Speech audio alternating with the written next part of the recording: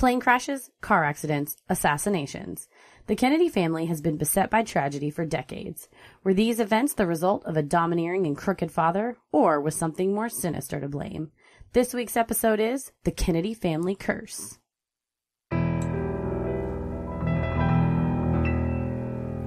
A bump in the night, your heart fills with dread. Probably a murderer who wants you dead. Could be a ghost, a demon, or worse. Perhaps you're the victim of a witch's curse. It's hopeless, you're doomed. You'd call a priest if you could. You'd rather just listen to who? Sinister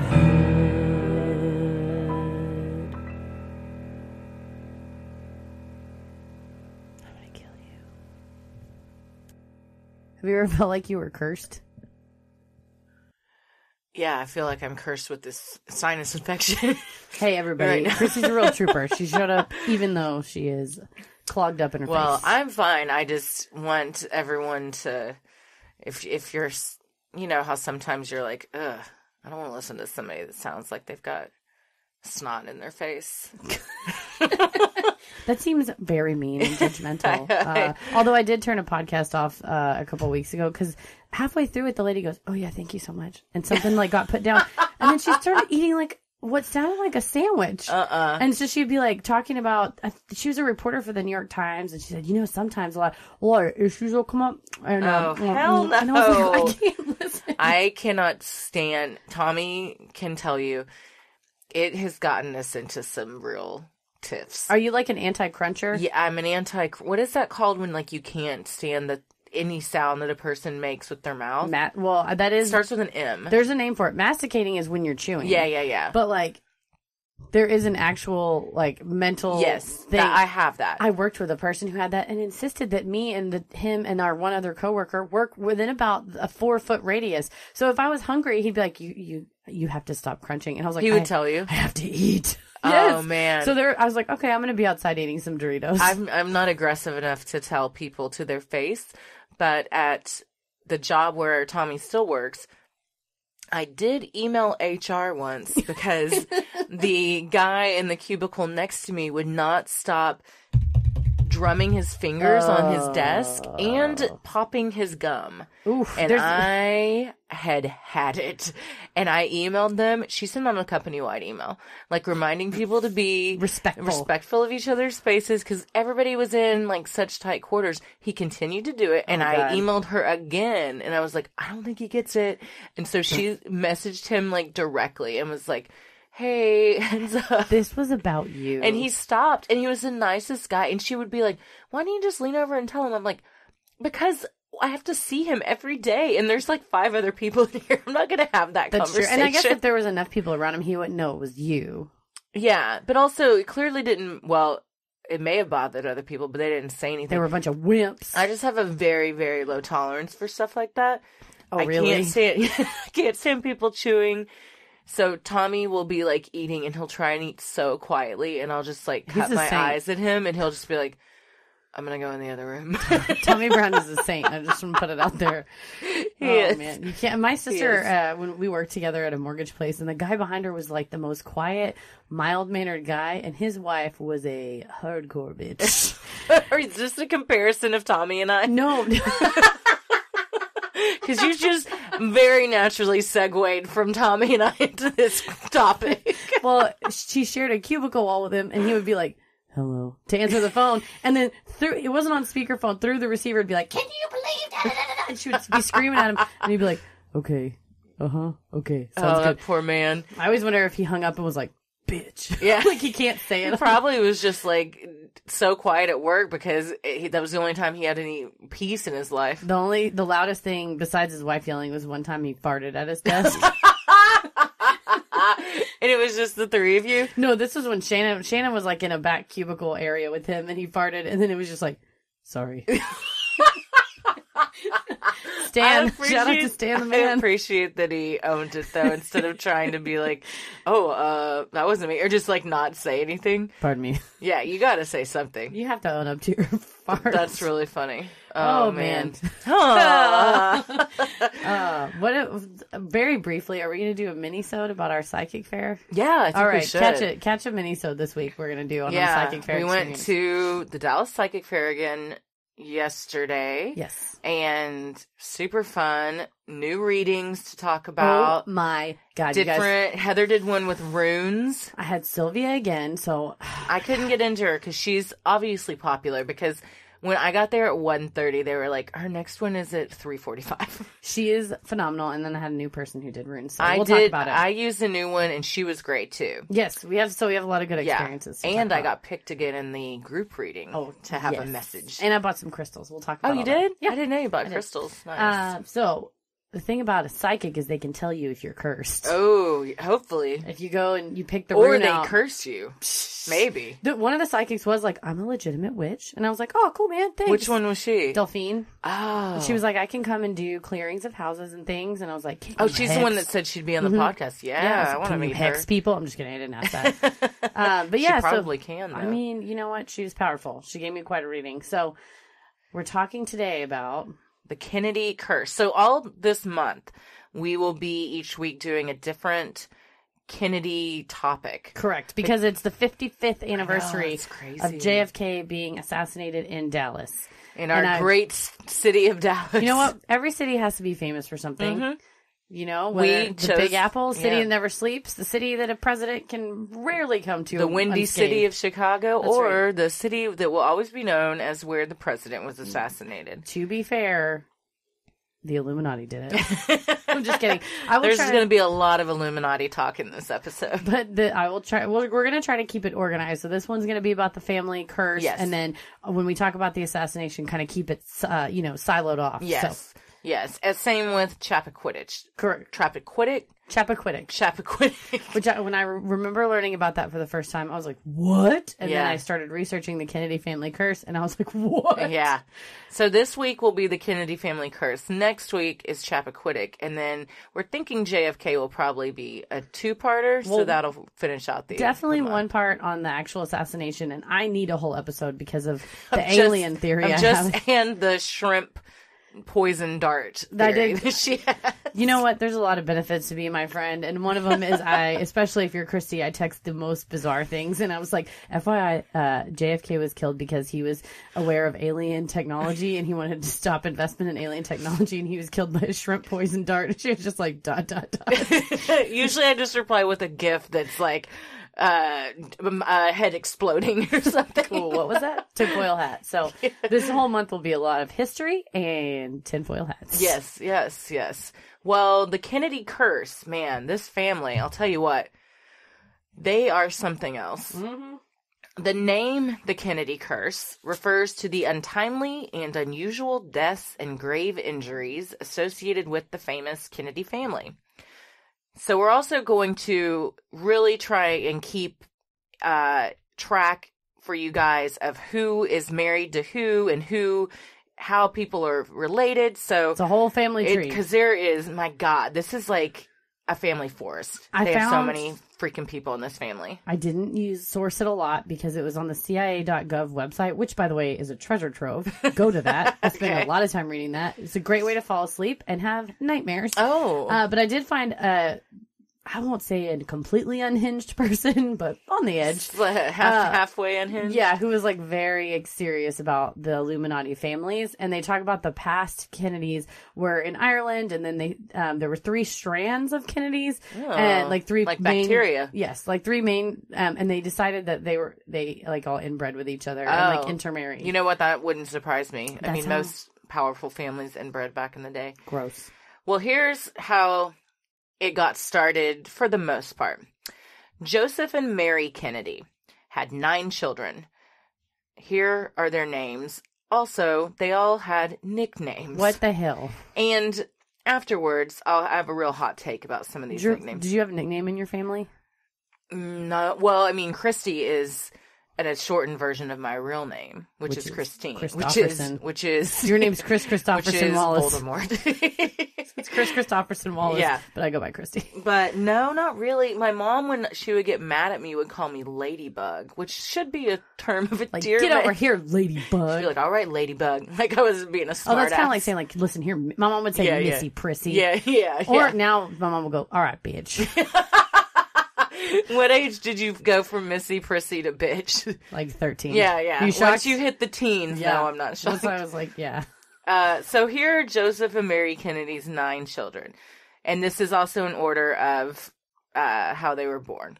So the oldest, Joseph Patrick, or Joe, John Fitzgerald, or Jack, Rose Marie, they called her Rosemary, Kathleen Agnes, or Kick, a fun fact there was a lot of Kathleens in the family, and a great great aunt was named Kathleen uh, Fitzgerald, and she was so fun and wild that her dad called her Kick. So then anyone in the family that was named Kathleen, they, they got called Kick. Interesting. 'Cause I was Uh, like, Ella's why- middle name is Kathleen. Oh, look, you So call her maybe Kick. we'll call her Kick yeah, I was like, why on. is everyone called Kick? But that's why. Also, back then, like name. Okay, well, here's my hot take. I don't understand why Jack is a nickname for John. You sound like me when I was about eight years old, and I learned, and they're like Jack Kennedy this, That Jack and makes no Jackie Kennedy, sense. and then they said John F. Kennedy, and I was like, did she have two husbands? Yeah. Which one got shot? And my mom's like, no, no, no, it's one person. A nickname should be shorter than your name. well, what about Dick and Richard? that one it makes a little more sense. Still confusing, but I, I, don't guess John get- and Jack are the same amount of letters. Also, William and Ted. that doesn't. What the fuck? Ted is for Theodore. Yeah, I mean, but, but I'm saying in real life, but in the Kennedy family, you just say whatever you want. or Edward. I guess Edward. okay. Edward and but Jack and John, I don't get that one because it's the same amount of letters, takes the same amount of time to say, It's an. I think and they it's an- both sound like nicknames. Let me just say, it's an. I think it's an Irish Catholic thing. Oh, maybe that's true. Let me tell you my research source. Okay. On Thirty Rock, Okay, well, I buy it. Jack Donaghy. No, his name's Jack though. Never mind. I was like, his mom calls him Jackie Boy, but I think his name's actually no, because his name's John Francis Donaghy, There you go. and he goes by Jack. well, John Fitzgerald, or as probably the most famous of the Kennedys, JFK, Rosemary or Rosemary, Kathleen Agnes's kick, Eunice Mary. She doesn't- Didn't, she didn't have one. They were like. Eunice. They're like, we're gonna just let you have Eunice. hey, Eunice. Patricia Helen or Pat, Mm-hmm. Robert Francis, that was Bobby. also known as RFK. Yes. Jean Ann and Edward Moore or Ted Kennedy, maybe the slimiest of the Kennedys. So he's the first one who ever said Kennedy family curse, and it was Mm-hmm. as he tearfully asked for forgiveness after kind of technically killing a lady. Yeah. We'll get to that Yeah. in a little bit. Yeah. We'll dabble in it here, and then we'll do the whole Chappaquiddick episode. If you're- but he's weeping into the camera. Yeah. He's like, "Well, our family must be cursed. If That's why." Yeah, that's a that's a solid argument. If you're on trial for a murder, just say that you've been cursed. it wasn't us. So, of these nine children, one was forced to have a lobotomy, four died violent deaths, and several of them had children of their own that suffered great tragedy. Whew. Now we're going to get into kind of a One timeline of this, the just shit show that is the Kennedy family. so, 1941, Rosemary Kennedy. In 1941, Joseph and Rose Kennedy had their first daughter, Rosemary. Rose went into labor very quickly, which caused Rosemary to enter the birth canal before the doctor arrived. To try and prevent the baby from delivering too soon, a nurse instructed Rose to cross her legs. This caused the oxygen supply to be cut off to the baby, which ultimately led to her suffering from intellectual disabilities. That is that's tough because the nurse is telling you to do something. Yeah. I mean, It's also the 40s, and they did not know. He also probably came in smoking a cigarette to deliver I'm that baby. Frankly, I'm surprised she was awake because my grandmother had Uncle Jerry was born in like 1942. Then Darlene was born in four, uh, 46, and my mom was born in 52. Sorry, mom, I just finding out how old you are. But like, my my grandma's like, oh yeah, like I would go to the hospital and be like, I'm in labor, and they're like, okay, breathe this in, Yeah. and they had twilight birth, Yes. and they knocked you out. Yes. And my my grandma's like, me was like, yeah, you woke up and they just handed you a baby. It Yeah. was great. Yeah. Or even back before then, or maybe even at the same time they would uh they considered you hysterical and like you were Like drugged. yes and they would blindfold you and like put you in a straitjacket i mean the history of labor is a very disgusting crazy thing to look and it's into it's like torturous. Well, so Rosemary Kennedy's born. She had about a sixty to seventy IQ, Mhm. which gives her the intellectual capabilities once she's grown up of about an eight to a twelve year old. Okay, Yeah. Well, as she got older, she developed violent mood swings. She also developed a gait, which led to an infamous stumble in front of the King of England. Because Joseph Kennedy was the ambassador to the UK around this time. Uh-huh. And they said that at the time he would go around with all of his kids and it was kind of like I mean it'd basically be like, parading your the family kid around. Kardashians or the Duggars Yes. or something, you know, like a cute family, and they're like, oh, it's the, and he was kind of, he was like a, a liquor distributor in the Yes. U.S. So it's not, this was his first time, like his foray into high society, and his one daughter trips and falls Yeah. in front of the king. Very embarrassing to the family. Thinking he could fix Rosemary, Come on. Joseph, unbeknownst to his wife Rose, allowed doctors to perform a prefrontal lobotomy on Rosemary. That's horrifying. So, so gross.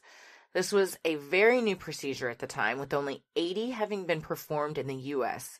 And of those, 80% of them were on women. Well, that seems Are we not shocked? surprising. Are we no, shocked? we're not. Also, Joe Kennedy did not tell his wife that he was having this done. Yeah. He took her to the doc- took Rose uh, Mary to the doctor. They put her on a mild tranquilizer, but she was awake, Yeah. and they stick a, a thing up your nose hole, and they basically Dig out your brain. out the front part of your Yeah. brain. Well, the procedure did not go well, and in fact, it made her condition much worse. Many believe too much of her brain was removed because the doctors didn't know what they were doing. They were just feeling around. Afterwards, she was unable to walk, talk, or even urinate. Yeah, they said she was 23 when it happened, and that she was diminished to the mental uh, capacity of a two to three year old child. God, that's so sad. Mm-hmm. In hopes of avoiding further shame, her parents institutionalized her, where she lived until her death in 2005. The Kennedy family essentially erased Rosemary from their public profile, and no one even knew of this lobotomy until 1961. I mean, think They about just kept it things- under wraps. They said the nanny, um, who also Joe was having an affair with, I mean, are we surprised? no, I'm sure he had an affair with many people. The nanny said that after she was sent to the institution, her name was not allowed to be spoken in that house. Like no Wow. one no one mentioned her. It was like she never existed and how sad for her. I mean, I'm sure they didn't go visit her. Well, and, and, And, and she didn't die that long ago. no, she lived until 2005. Yes. That's insane. Well, my thing is, is she was diminished to the mental capacity of a two or three year old. They can recognize their family. Oh I mean, yeah. it's They not like she, also it's not like she was like a vegetable. they also have emotions and Yes. I mean, it's just so heartbreaking. It's super sad. that like he from the beginning thought that she was less than because she was born with a mental deficiency. Well, and it's he's a man that's all about appearances. Yeah. And I think it was because he came from kind of seedy money that like his dad owned a saloon and made his money on alcohol. Yeah. And Joe Kennedy thought the whole Irish drunk Irish stereotype was embarrassing, and so he never drank. And so he wanted He just this- made his money off of those that did. Yes, and he wanted to have this perfect picture perfect family and be fancy Yeah. and be a high society And ambassador. by God, if if you're going to trip and stumble in front of the King of England, you're getting sent to an You get your head institution scooped out. with your brain half gone. God. Well, moving on to August 12th, 1944. Joe Kennedy Jr., which was JFK's older brother, Mm-hmm.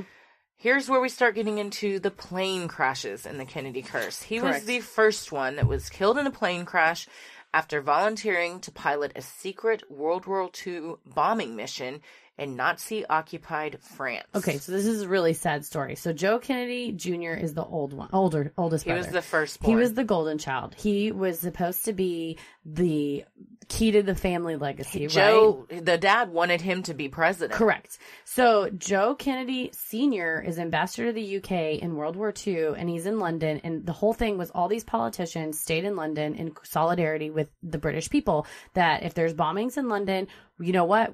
If they get one of you, they get us all. Joe Kennedy Sr. went to the English countryside Uh. and was basically considered a baby, like a big wuss. Like a British politician was quoted as saying, like, I thought sunflowers were yellow and then I met Joe Kennedy. Oh, so he oh, had this That's reputation. a sick burn. Dude, he had this, re- and you, can you imagine it? Like drinking tea. Oh, I thought sunflowers were yellow, and then I saw Joe Kennedy. And everybody's like, "Burr, burr, burr, burr." yeah, he's like, oh, killer burn, indeed. so he was like kind of shamed now, and his and Joe Kennedy Jr. was one of the first kids to say the Kennedy clan, and he's like, we're the we're all for one, one for all, except for her sister. Mm-hmm. Yeah. and well, you know, Yeah, we need except to for the one we don't talk about. and he's like, we need to look so badass or whatever. And so he joined the military. JFK, despite his frail body, also joined the military. So this is the ironic part. So Joe is like jacked, handsome guy, gets in the military. He's doing great. He's a pilot. JFK has to literally, they have to hire a trainer to get him strong enough to qualify to get into the military and they put him on these PT boats which are like surface boats that shoot torpedoes and they would get these rich kids to get on the surf the torpedo boats because they were sailboats basically and rich kids had like the Kennedys had a yacht and like Sure. this, they knew how to They'd sail all been to regattas. Yes. And so JFK is on this boat and somehow people say that it was due to negligence or they were hungover or asleep. It gets broadsided by a Japanese boat and it breaks PT 109 in half. And the seven crewmen and JFK swim to this island. So this is the story that jo- Joe Kennedy Sr. portrays of his son because basically his son just fucked up and he basically is stuck on an island with all these people and Oh, it's like Survivor. it's like Survivor. And JFK, this is the story, was the strongest of everyone, which I find hard oh. to believe. And swimming out, he would swim out, and take off all of his clothes, swim out into the ocean every day with this coconut that's like, please help us, and would try to find boats. And then coconut. I guess he carved an, a, the thing in the coconut, and he swims out there. And so finally, Nobody's gonna see that. well, uh, finally a boat comes, and I guess he throws the coconut at him. I don't know. They get saved, and he comes back home.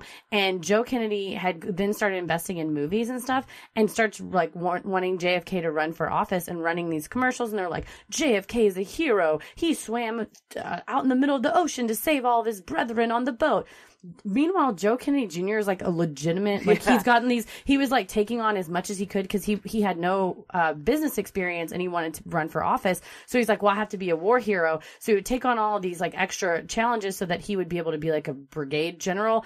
Well, JFK basically didn't like fucked up. He failed upward, which isn't that every rich white man. Yes. He failed upward. And so he's like this now coming back. And they said they would throw these like parties and stuff for JFK where they're like, our son is a war hero. And that Joe Jr. would be like, yeah, great. And would go upstairs and be like, And then he and so then so- freaking died Well, so he- flying a bombing mission. here's my question. Did he die accidentally Oh. or he You think he kamikazed this? Well, they said he was due to be uh, let out. Like they said, okay, you're ready. You're discharged honorably. You did your duty. You're, you're, you, the gig is up. And he's like, no, no, no, I want to stay. And England's like, well, we're not really doing anything except for we're testing these remote controlled airplanes, but they are very dangerous. He's like, put me in one. and He would- probably was trying to prove to his dad that that's he was exactly what they said. And the night before, and they're like, "Oh wow, Joe Junior is going to do this really cool experimental flight." And the night before, the engineer's like, "Yeah, we're probably going to have to cancel the flight because we think some things are going to go wrong." And then Joe Junior was like, "Fuck it, let's go." And it's like, did he oh, do that because he wanted to prove something, Yes. or was he like, "I will never be as good as Jackie. I'm going to kill myself," like Jack Kennedy? I think he was trying to prove something. I think so too. but that's so sad that he w- went to those links and it ended Tim- up taking his life. To impress his dad, Yeah. who like, but I feel like that's kind of the, throughout the Kennedy to this day, they're all just trying to impress their dads. Yeah, and I think they that might the true Kennedy curse may be just like Joe. Joe Oh, he's he is a piece of shit. yeah, he's awful. We will see just how So awful he is. Plane crash number one. Plane crash number one. Here comes very quickly after plane crash number two. so Joe Jr. was in 1944. May 13th, 1948, another plane crash, also in France, claimed the life of another Kennedy. This time, JFK's sister, Kathleen, or Kick, as she was known. She and three others, including her soon to be husband, were flying in a small plane in a storm when it went down, killing everyone on board.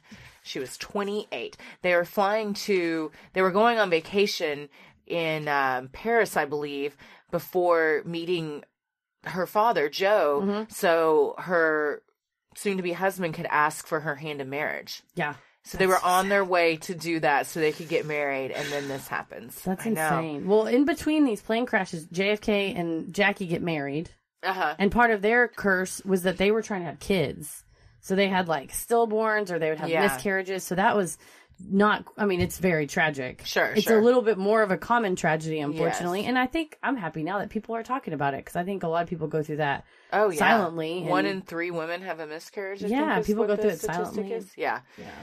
Okay, so in 1961, and at this point, JFK has already been elected president. We'll talk more about that when we get into the JFK assassination episodes we're going to do. But he's been elected president, and his father, Joseph, suffers a debilitating stroke and develops aphasia, which makes him unable to speak. Aphasia is, that's tough. Yeah, well, he can't talk anymore. So now, how is he gonna uh, be super sexist and anti-Semitic And run the family? if he doesn't have his voice? A heinous person.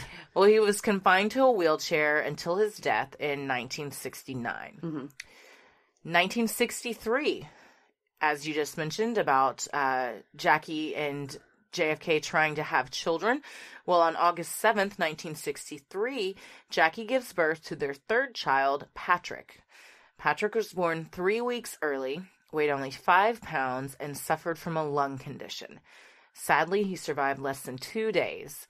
Even more upsetting was that this was the second child Jackie and JFK had lost. So, yeah, so they had the miscarriage. In 1957, they had a daughter that was stillborn, and then Jackie suffered a miscarriage in 1955. and then she had this poor kid. It's so sad. It's very sad. and there's just there's a whole lot for their her family was entwined with the Kennedys before the two of them met. And they also had the Onassis family curse, Curse. which many think she brought over to the Kennedys Oh when they no, got that married. was going on before she showed up.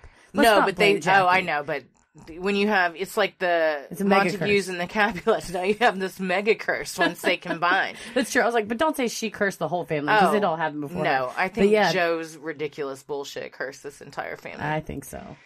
Just weeks after suffering the loss of her child, Jackie Kennedy and the entire nation suffered a loss that was felt around the world. On November 22nd, 1963, while President Kennedy was visiting Dallas, Texas, he was shot to death in his convertible while his motorcade traveled through Dealey Plaza. Have you ever been to the Sixth Floor Museum in yeah, Dallas? It's great. It's really we great. should go. Oh, we should go. Yeah. I've also been to um, the Grassy Knoll. Same. Actually, last time I was at the Grassy Knoll, Tommy and I had like been downtown somewhere eating and we were walking back to our car and we were like, what are all these people with these like weed flags and everything doing? And it was like a normal march. Oh no way. And they were all gathered at the Grassy that Knoll. makes sense because the grass. And everyone was just like blazed out of their mind with, and there was a guy with like dreads and a tie-dyed shirt on a megaphone just talking about like legalizing it. But it's, it, which is fine. I agree with all this, but it's happening like at the grassy knoll, That's which is tough. a little disrespectful. But I will say, if you ever go to the grassy knoll, there's like a guy there that gives you a newspaper that's all the conspiracy. So if you're high as fuck, that Oh, might yeah. be like what? There's a, a lot shrimp of people. bullet. Whoa! Oh, I want shrimp. Let's go over to Hooters. I want some shrimp. Um, there's a lot of people down there all the time handing out information that are is conspiracy, yes. uh, all sorts of stuff. There's also a giant X right in on the street, right in front of it. What is that street? Uh, that's commerce. Commerce, right there, where it happened. And then like every few months, the city will like paint over it, and then the next Somebody. day, someone spray paints the X right back. So. But yeah, if you're down there and someone hands you a newspaper, be conscious because they want money for it. It's not free. That's true. That's it's not true. information that is free. No, no, no. They're also going to want to have a real fun conversation with you. I like the guy that's up there with a table and he has like one of those three, uh, like what do you call it? Where it's like like, when a, you did a science Correct. experiment when Yes. you hear a science fair. Yeah. it's a poster board that stands on its the own. trifold? The trifold Yeah. poster board. Oh yeah. yes, there's a lot of fun stuff. There's also probably going to be like uh, pro-choice shit and Jehovah's Witnesses. There's a Anybody lot that goes on in the just it's just pamphlet city. It is. That's what they should call it. Be careful. Yeah. Um, so just seven months after his brother's assassination, Ted Kennedy narrowly escaped death after his plane crashed in Massachusetts while traveling there for the state's Democratic Convention. This was on June 19th, 1964. A fellow senator on the flight pulled Ted from the wreckage, saving his life. Ted suffered a broken back and ribs and had to stay in the hospital for five months. His injuries would plague him until his death in 2009. God. As if one political assassination wasn't bad enough, on June 5th, 1968, Robert Kennedy, JFK's younger brother, was assassinated in Los Angeles after winning the California Democratic primary. The shooter was Sirhan Sirhan, a 24 year old Palestinian Jordanian immigrant. And Patsy for the CIA. I'm just kidding. Maybe. Not kidding. I'm not kidding. I honestly really don't was. know a lot about. I know that they like found a lot of uh, writings apparently when they searched his apartment that was very anti Kennedy's and anti his party and stuff. But That's what the anybody- government anybody can plant some writing. And the Illuminati is in charge. I think uh, I will substitute the Illuminati with the government. Yeah, I think this one. really was a uh, CIA kind of inside job because RFK was um, the attorney general while JFK was president, and uh, they did a lot to take down the mob, and Mm-hmm. the CIA was using the mob for like muscle into doing, especially like pushing drugs to make money to pay for alien technology that they're developing. also like when when it happened so he had been at this uh hotel in Mm-hmm. la giving kind of his uh acceptance speech or whatever and they had to go somewhere else right after for like kitchen. a photo shoot but he kind of got separated from where he was supposed to go and this Oh, other person was like because the crowd kept coming in.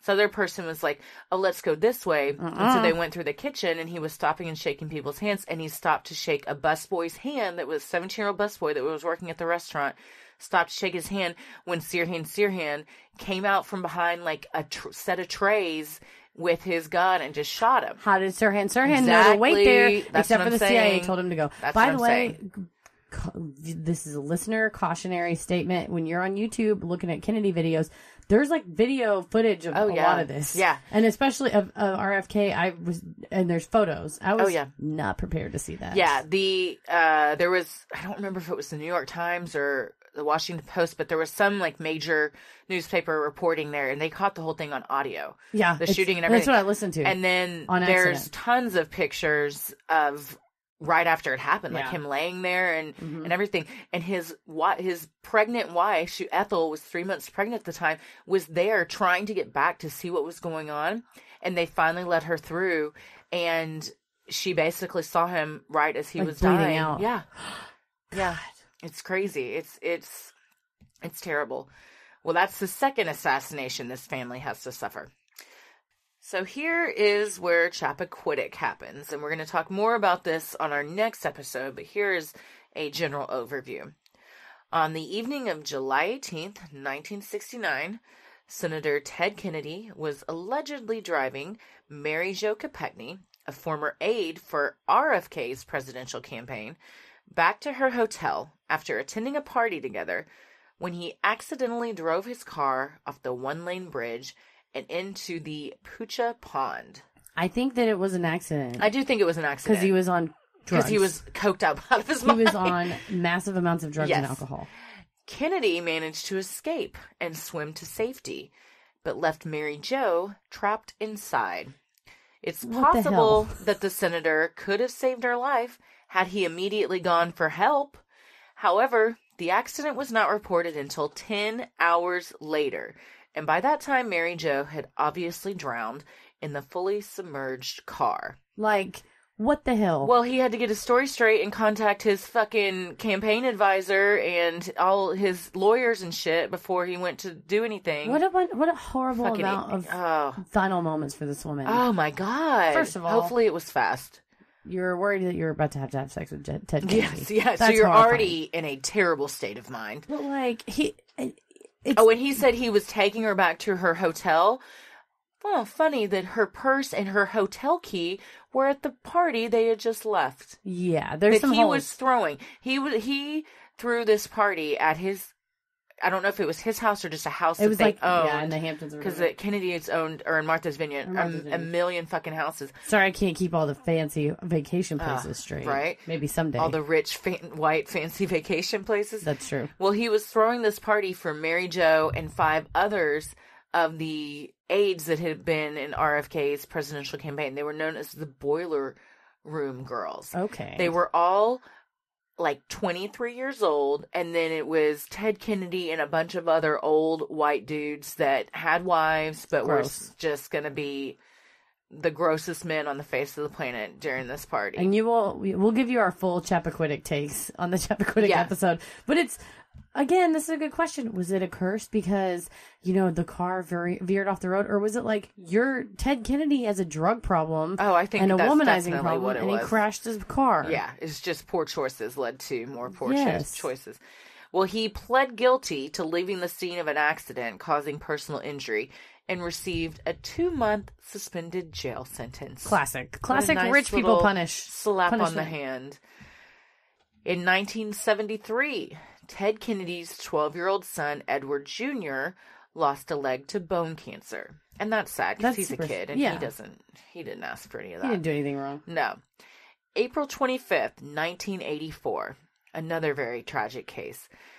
David Kennedy, son of Robert F. Kennedy, overdosed from a combination of cocaine, Demerol, and Mellaril, which is a drug used to treat psychotic disorders, in a Florida hotel room.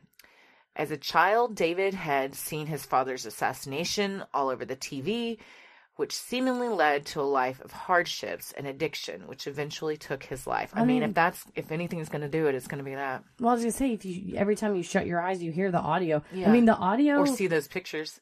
the audio of the assassination is horrifying. I haven't listened. Don't Really? It was an accident. I was watching. I was going through my Illuminati JFK I stumbled playlist on some very disturbing things on accident too. on It's- YouTube, it's and it and it just played. and It was like all about Bobby Kennedy assassination. I was like, all right, I'll look at this. We'll see. And uh, it started playing, and it was like a speech, and then some photos of him doing a speech, and then all of a sudden it was photos of him in the kitchen, and then it's the audio of him in the kitchen being shot, and everyone. so you hear the gunshots. Oh and yeah, him screaming and oh, it's horrible. Oh, that is yeah. Yeah. So I mean, Do not recommend. And if also, anything's going to cause drive you to drugs and alcohol, it's it's something like that happening. Yeah, and also just watch your YouTube auto playlist because sometimes things come up. Oh yeah, don't wanna see. especially now that you have that Dude, in, in my- your history. my yeah, my search history is destroyed forever. if your computer ever gets confiscated, oh, I'm gonna get a call from. I wanted a nice the I FBI. was gonna say I wanted a nice, concise definition of the Illuminati, and one of the articles was like, "Now you're on a list. They know," and I was like, "No." you were already on a list. I know, probably, I probably was. Well, here is. Uh, we already knew Ted Kennedy was a real stand-up guy. In 1991, on March 29th, William Kennedy Smith, his uncle Ted Kennedy, and William's cousin Patrick Kennedy were all at a Palm Beach nightclub when they met two women. The five decided to go to a nearby house owned by the Kennedys. Of course, they've got houses all over the country. and you're just like out at a club with Ted Kennedy. Yeah, yeah. Well, your uncle Ted Kennedy too. And also just look at if you're dear listeners, and we'll put pictures of him on the Instagram. But Ted Kennedy looks like a frog made a wish and became a man. He looks like a potato with gray hair. yeah, he looks like a potato with a wig. Yeah. like if Mr. Potato Head had like silver fox hair. That's kind of He, what yeah, he put an Anderson looks Cooper wig like. on a potato. Yeah, yeah. Well, they decided to go back to a nearby house owned by the Kennedys, and Smith and one of the women took a walk on the beach. This is where the woman claims that Smith raped her. Smith claimed that the two had consensual sex. Smith was represented by criminal defense attorney Roy Black in a trial that was covered extensively by the media. Although three other women were willing to testify that Smith had also sexually assaulted them in incidents in the 1980s that had not been reported to the police, their testimony was excluded, and Smith was acquitted of all charges. There are several reasons why testimony would be excluded. You knew I Um, was going to ask that, so I'm glad you are just answering it anyway, right off the bat. Um, one of the reasons is like, you ha- there's a balancing test, and if I'm, I don't practice litigation or criminal law, but part of the rules of evidence is um, you have to balance whether the relevance of the testimony outweighs the prejudicial nature. So like if something so I would say unless I was maybe like I don't know a crooked judge that it Or getting paid off by uh, The Kennedys. ex- a very wealthy family. Exactly. I would say that past incidents are relevant. However, you have the issue that they were never reported, which is not a wrong thing. Many people have been assaulted. and it's very common. super common. And the, the issue then would be like, well, these women are definitely going to get ripped up by the defense attorney. Do they want? I mean, they're And willing. this guy was a shark. yes, he's like a well-known, like no holds barred, Yeah. cutthroat junkyard dog that'll do whatever it takes. So the question is, does the prejudicial is the prejudicial nature of this of three women with I guess seemingly no proof. Like I said, there's no police reports or DNA So tests or should, anything. he, he said, she said. Correct. thing. The prejudicial nature of those statements is it outweighed? Does it does the probative value of those statements outweigh the prejudicial nature? And obviously, this judge thought no. Sure. So, So he and if you're a prosecutor, was- if you're a prosecutor, and at the in the early stages of the trial, so then they say we want to bring these witnesses, and the defense objects to those witnesses, and you have a hearing on the witness will testify to these things, whether it's in a sworn statement or you know, or, or they bring the witness in, and the judge says, nope, I'm going to exclude these three witnesses. Then you, as the prosecutor, go, well, aside from this lady saying I got raped on the beach, Right. and him saying no, I didn't, we have no other evidence. I have to, I have to drop to the drop the charges. case. yeah.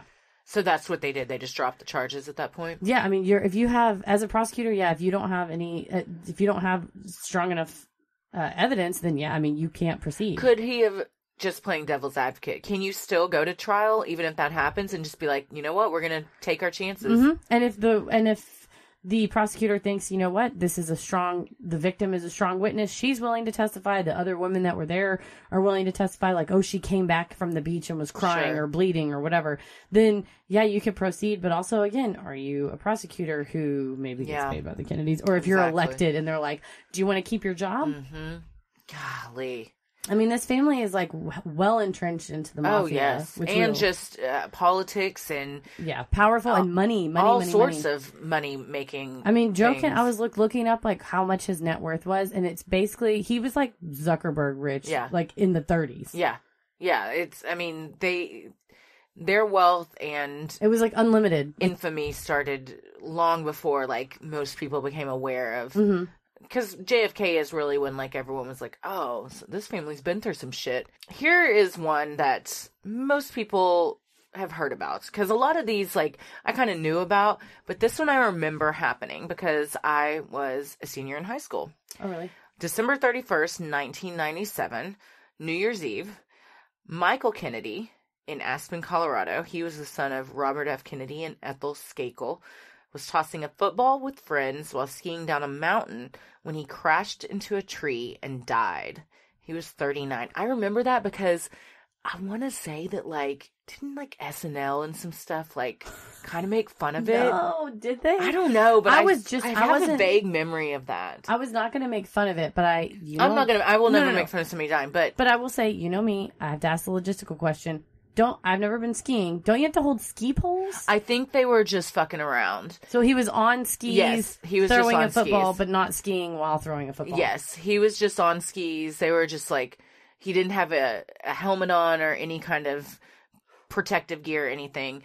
And I think they were just like fucking around, skiing down a mountain, throwing a football back and forth, and he just crashed And- into a fucking tree. Ugh, yeah, Skiing is so dangerous. It really is. It's something that you don't really think of when you're doing it, but it it is kind of a crazy, dangerous sport. I mean, to be fair, Saturday Night Live did a lot of uh, Ted Kennedy, made fun of Ted Kennedy a Yes, lot. I'm sure yes. they probably covered something. I I might be totally off base with that. I just have a vague recollection of that. Well, July 16th, 1999. This is one I also remember. I remember this too because my mom thought JFK Jr. was so hot. Oh, he was. I mean, he was hot. He was a lot. And I also, do you remember when JFK Jr. was on Seinfeld? Seinfeld. I was. Yeah. I mean, I just rewatched all of Seinfeld, so yes, I do. Yeah, I mean, so I was like, And he oh, ends up with wow. he ends up with Marla the Virgin. Yes, yes. And but because if Marla I- finds out about the contest and runs downstairs and Yep, cries. Yep. He uh so that that episode was probably It was like late. It was like '97, right around yeah, it like right right before before this happened. Well, and July, he was like, I mean, he was like rocketing to to like. yes, he was very good looking. He uh he was the producer of that magazine. Yes. Uh George, I think Yes. wasn't it? And yes. he and he was like next. They he was kind of a shoe in to be nominated for senator. Yes, he he was the golden boy. Well, he, his wife Carolyn Bessette Kennedy, and Carolyn's sister Lauren were killed in a plane crash off the coast of Martha's Vineyard when JFK Jr., the pilot of the plane, became disoriented while trying to descend over water and nosedived into the Atlantic Ocean. All three were killed upon impact. That's scary. They said it's very common. They, it's called spatial disorientation Oh, absolutely. I'm when sure. when amateur pilots or even experienced ones, I suppose, are trying to descend over water because it's dark. Also, on this night, the um, the weather was kind of iffy and eh, like visual landmarks weren't you could yeah, really you can't see. really keep oriented. and he wasn't licensed to fly his plane by instruments alone. yep, there's visual. So he should not have been flying. no, the plane. and there's visual flight rules and instrument flight Yes. rules. And yeah, visual is you can fly when it's a nice sunny day in the Yes. daytime, and then Yes. instrument is anything if it's dark, if it's you know, if it's hazy, foggy, rainy. which it was those things. Oh yeah, absolutely. And he was because he was in a Piper uh, Saratoga, very small plane. So it's pretty small. It, seat, it seats six, so it's not like itty bitty, but it is single engine. And uh, let me just say, so I've taken flying lessons before oh, nice. in a Beechcraft Bonanza, which is a similar size Sounds like a fun uh, 50s party Ew. beach movie. the old Beechcraft Bonanza. Um, it's a little bit smaller. A Bonanza seats four, and a Piper Saratoga seats six. But um, there's uh, this kind of plane has what's called like retractable gear, and that's a whole set of instruments that you have Yeah. to learn. And then the uh, the just the main um, cockpit area. I guess not really a cockpit, but like the yoke and the instrument panel. It is especially. I mean, nowadays that shit is digital and it is Yeah. very sweet. But in 1999.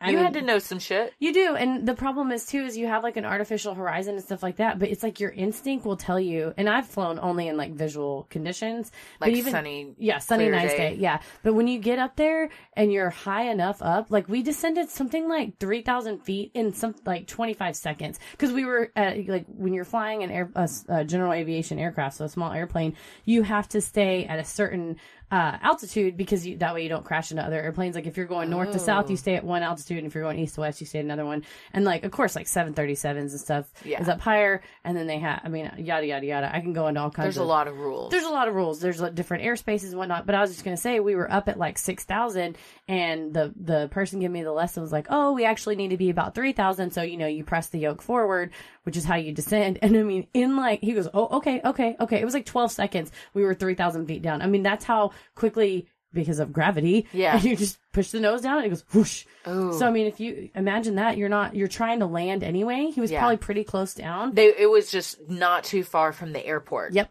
And so you think, okay, well, the airport's right here. Well, it's not. It's a little bit Yeah. further, and you go down. And you don't. I mean, in an instant. And you probably don't because it's dark and it's water until you're almost on top of that. You're not even realizing. oh, you may not even see the water until you Yeah. hit it. Yeah. Which might be a blessing in disguise. seriously. Because I, I, airplane crashes are one of my biggest fears. Oh, really? I know that they're. What was that stat you I sent sent me? because Christy and I were talking about this before. Of like, is this family cursed, or is it just kind of like, oh, you know, maybe they made some bad choices or whatever? But I was like, okay, no, mathematically. Uh, the odds of dying in a plane crash are one for every 1.2 million flights.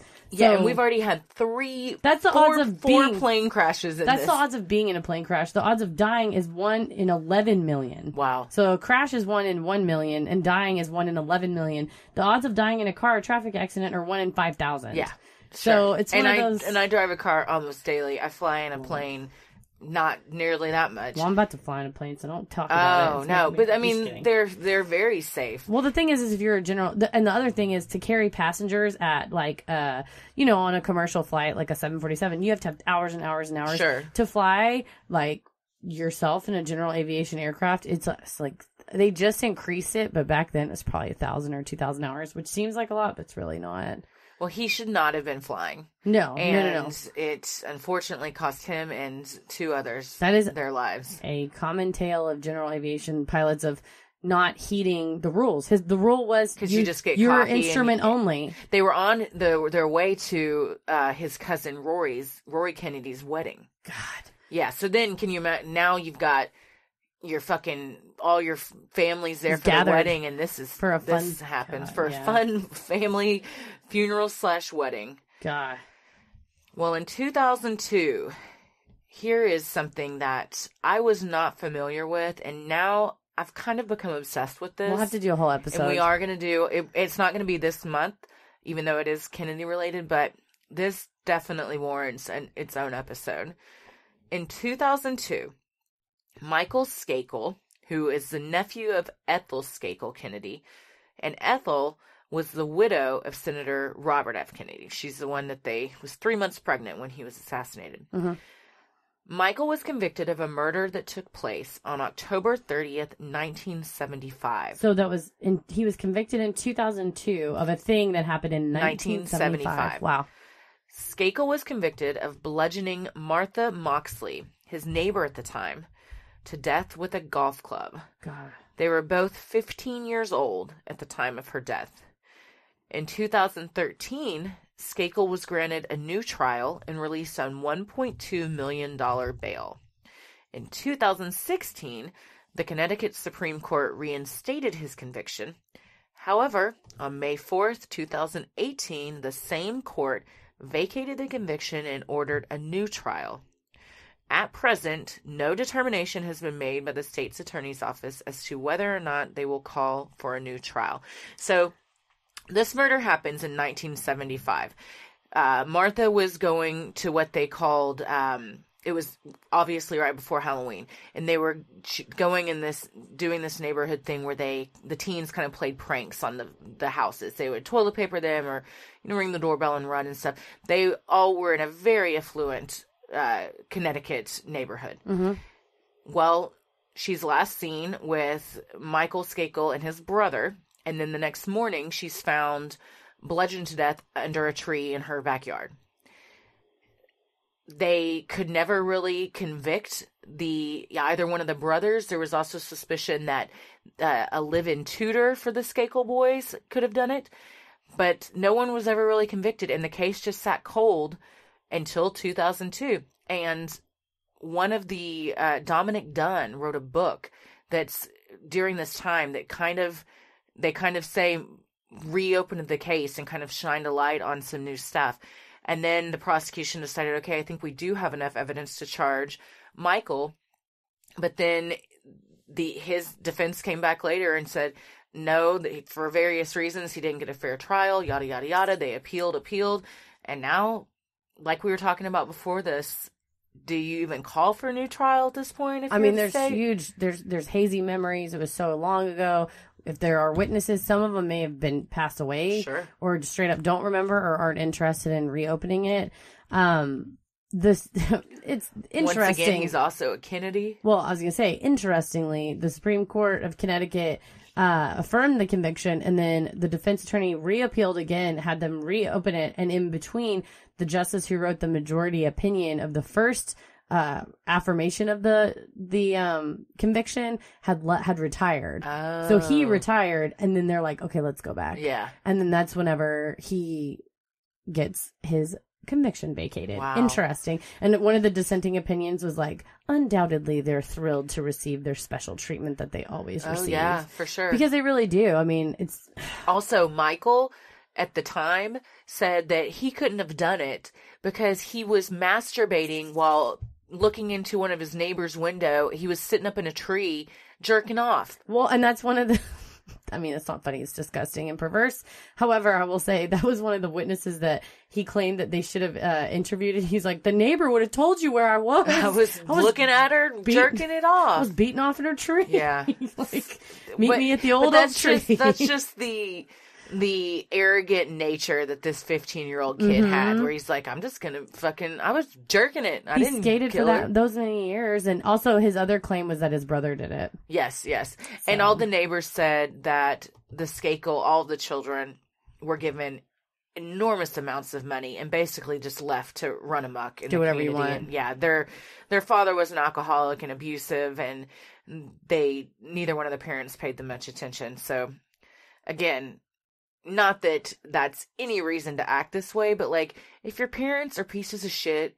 There's your grandparents chance you're going to be a piece of shit too. It is a perpetuation of a shitty lifestyle. That's why I do my best to uh, raise a daughter that is not a piece of shit. she, you know what? It's your standard. Yeah, that's Just just don't be a piece of shit. Don't be a piece of shit. Well, this is kind of sad. Uh, in 2008, Ted Kennedy suffers a seizure and is hospitalized, where it's discovered he had a malignant brain tumor. And then on August 25th, 2009, he lost his life to cancer. I remember that going down too. It was a big because he was still a senator at the time. Yeah, yeah, yeah. Also very sad. May 16th, 2012. Mary Kennedy, the estranged wife of Robert Kennedy Jr., is found after hanging herself at her home in New York. And it came out after that she was very depressed and alcoholic. I I think that's very common in this family, especially amongst the women, the mm-hmm. wives, because look at the men they had to fucking put up with. Yeah. I mean, they're Seriously. parading their mistresses all around. They it said that Joe, the patriarch, was so just above everything that he would bring his mistress home to dinner. They said- with his wife. They said he would audibly have sex with women in the house while the family was having dinner. That's insane. He's a psycho. yeah, I mean JFK, even though he was hailed as this wonderful president because kind of how he went out, he was a sexist piece of shit. Womanizer. Yes.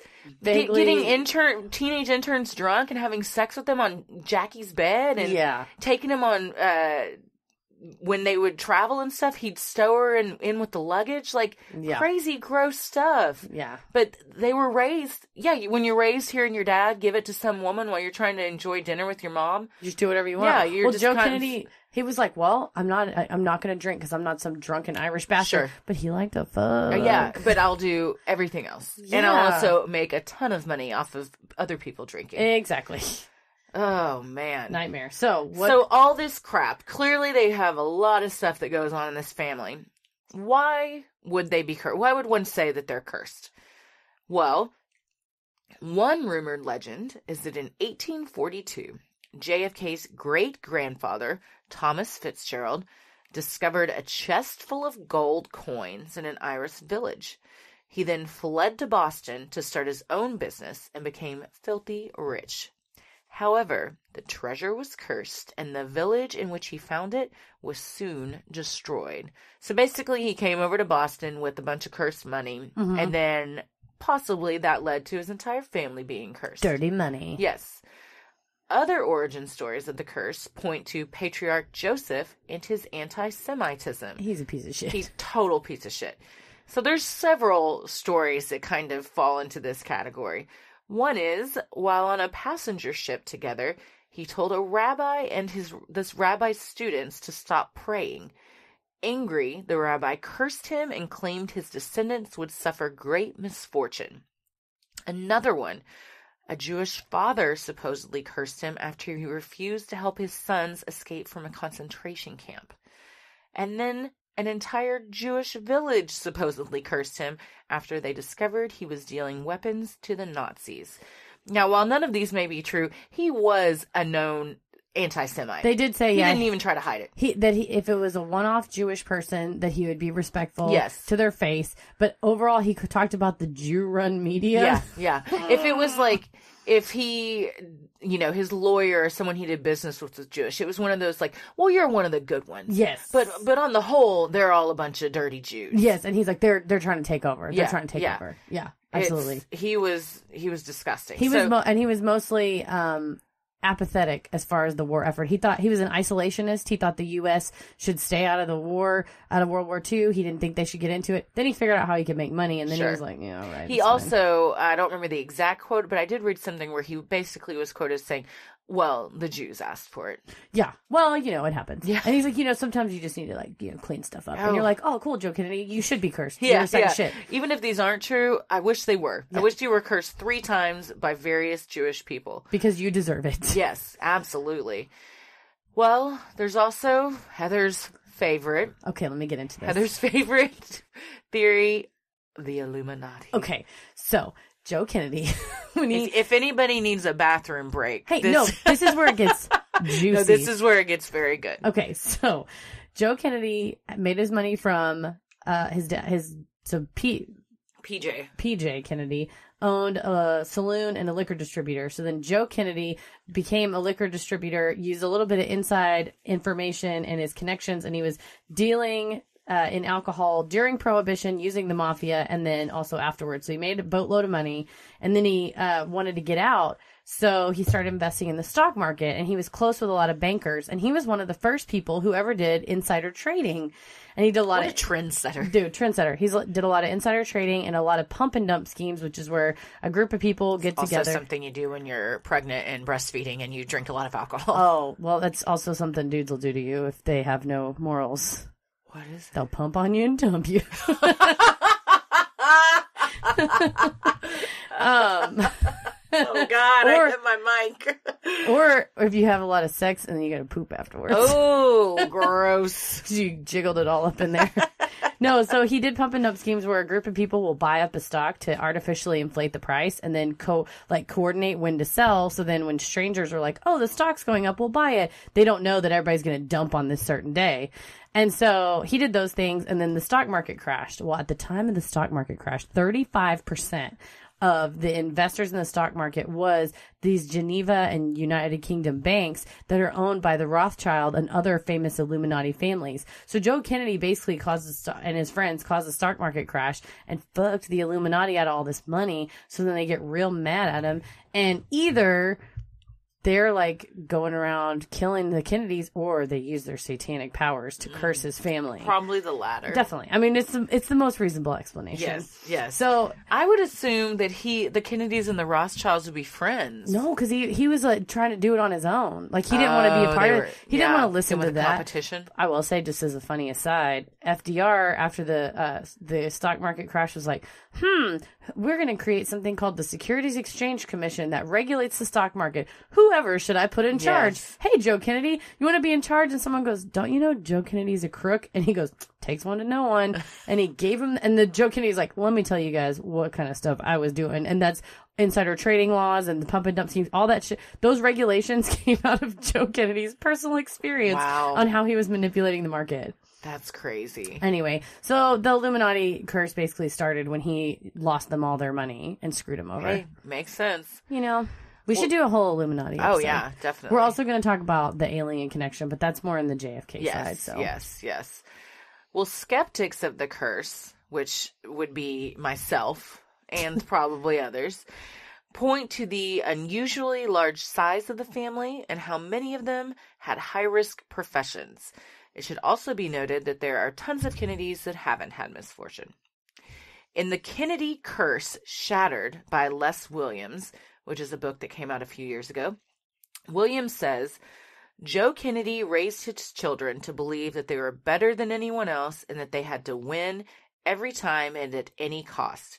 His obsessive, driving ambition would influence the decisions his children made and the way they lived their lives, and this controlling, overbearing approach would have disastrous consequences for the family over the years. I think that pretty much sums it up. you think so? Yeah. I it mean, was- well, I mean, I think, I really do think that there's something to be said for how big this family is because just, you know, I mean, if you've got a giant family, the chances of something, the probability of bad things happening is going to increase because there's more people for bad things to happen Just to. statistically Yeah, speaking, yeah. I will. I will also uh, put forth my godmother Lillian Dickerson's uh, explanation. Is she she would say Joe Kennedy sold his soul to the devil so his family would be wealthy.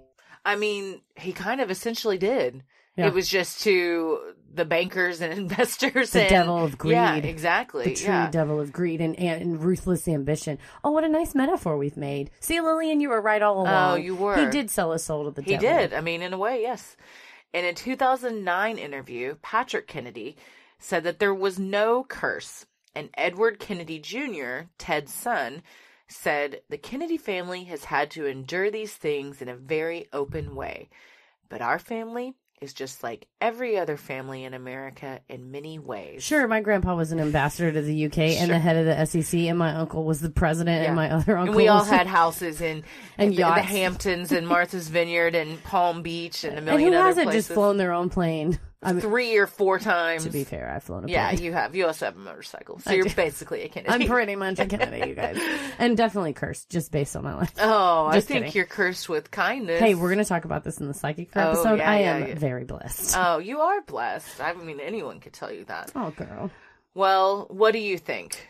I think Lillian was right. He sold his soul to the devil. Yeah. Whether it was like in a ritualistic ceremony, I don't, I don't know about that. Where he's like, "Praise the Lord," but I, I wonder. So I was talking to the psychic, and she was like, you know, visualization it makes things happen. Sure. And she's like, you want to put positive things out there. And so if Joe Kennedy's like thinking like, I don't care what it takes, I want this to happen. It's one of those like He's movies. Mm-hmm. It's those movies like Be Careful What You Wish For. Of like, you can have a wish. Well, I wish to have a million dollars. Well, you get it because your whole family dies and you get Sure. an insurance settlement. You know, it's Yeah. like one of those where he he was so solely focused on this that he like really did cause it. Yeah. And it really is kind of like a negative energy curse, even if it's not literally like a satanic ritual. Sure. Yeah, no, I agree with that. I think that he was so ruthless in wanting his family to be successful and respected and in high society that he would basically sell his soul to the devil, sell his children's soul to the devil. He would just sell- sacrifice them for any Yeah, for he did it. I mean, he fucking had his kid's brain removed because she was born with some mental deficiencies, which, by the way, were not her fault. No, and they said um, that her, aside from just having, you know, her normal, uh, because the oxygen cut off and having a brain injury, that she basically just had like ADD and bipolar. Yeah. And it was just like mental health things that could have been treated, but he wasn't interested in what was best for the child. He was interested in what was best for his ambition. Yeah. And the image of the family. So he basically just Sacrificed. stuffed her away in Yeah. an institution so he didn't have to out of sight, out of mind. I don't know about religion, how religious anyone is, but Joe Kennedy is in hell.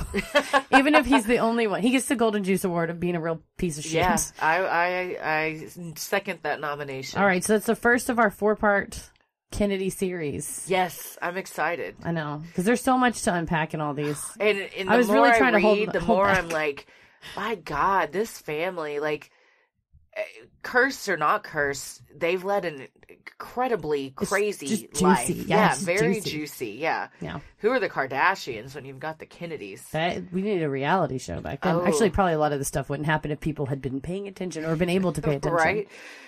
Well, shout outs. Oh, you guys heard on the, if you weren't at our live show, then this is the first time in this episode you've heard our new theme song. Yeah, shout out to Matt J at Matt J Music DFW, and we'll tag him on Instagram for coming over and using the podcast studio and and recording the theme with me and Oh. helping me. All and singing. yes, and our lovely Heather is the one doing the vocals on that.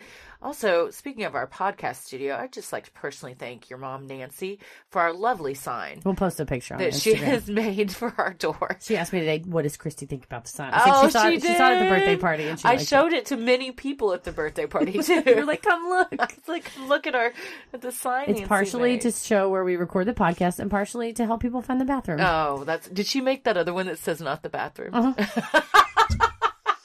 We'll post those pictures on Instagram. My mom has put signs up in my house. Well, because the first party you had over here, you just wrote a sign that said Yeah, not the I just wrote on a so now Sharpie. she's made you a permanent, it's classy. permanent sign. I love it. Yes. Yes, thank you, Matt J. Also, thank you to everyone that came out to the Dallas Psychic Fair yesterday. It was so much fun. Uh, such a great crew. Yes, Maggie, Sarah, Lacey, Kate, Laura, Jessica, Laurie, Steve, Wendy, and Amy. Am I missing anybody? Me and you, baby. Me and you. It was a great time. We are going to do a mini sode about that. And it's the first Sunday of every month. So next, if you didn't get to go this time, I think it's December 3rd or the first is Sunday in December. first Sunday in December. We're going to go again. All right. Well, the best thing you can do for us is to like, review, and subscribe on iTunes or wherever you listen to your podcast, and tell a friend who you think you would that would like us to check us out. It means so much to us, and it really helps us get more exposure. You can follow us on Instagram at Twitter at Sinisterhood Pod, and like us on Facebook at Sinisterhood. Uh, Chrissy, where can they find you on social media? Social media, Twitter, I am Christy or GTFO. And on Instagram, I am at Christy M. Wallace. On Instagram, I'm Heather versus the world, Heather vs the world, and on Twitter, I'm MCK versus the world, MCK vs the world. As always, the devil rules the airwaves. Keep it creepy. Sinisterhood.